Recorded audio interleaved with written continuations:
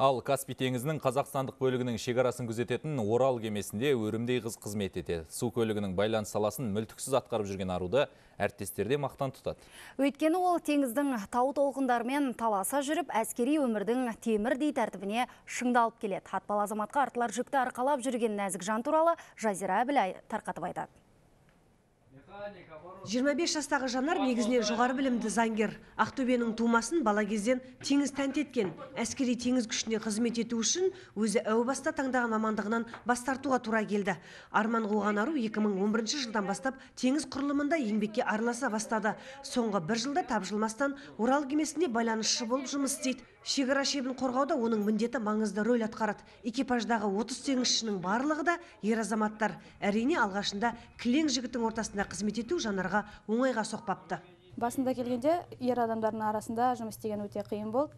Ә, жайлап жайлап үйреніп кеттім. Орал қала- қаласында ә, іссапарда болдық осы корабльді түсірдік суға. Сол басынан бастап келе жатырмын осы ә, кеменің экипажында. Өте қатты ұнайды. Темірдей тәртіпті талап ететін әскери өмірде жігіттермен иық тірестіріп тайсалмай жүрген нәзік жанның орны айрықша. Оны әріптестері де жоғары бағалайды. Өйткені жанар бортта әйел адам болса бақытсыздық әкеледі деген теңізшілердің жазылмаған заңын жоққа шығарды. қыздың кемеде болу ол жамандыққа деп алып келетін деген дәстүрлер болатын бұрыннан келе жатқан бірақ біздің орал кемемізде уже түс- түсіргеннен бастап э, қыз бала бізге әскери қызметші болып келді. Ер адамдардан кем қылмай абыроймен қызметін атқарады. Сол себепте сол біздің осы экипажымыздың ішімізде осы жалғыз қыз болған соң әрине де еркелетеміз. Каспийдің алып толқынын ауыздықтап жүрген әскери қызметкерлер ел шекарасының тыныштығын кірпік қақпай қорғайды. Теңізші қыздың кемедегі өмірінің қызығы мен қиындығы көп. кемеге келген адамдар бірінші рет теңізге шыққанда теңіз суын ішеді. Обморачивание деп айтылады. Ә, дәстүр бойынша. Обморачиваниеден өткенім қызық.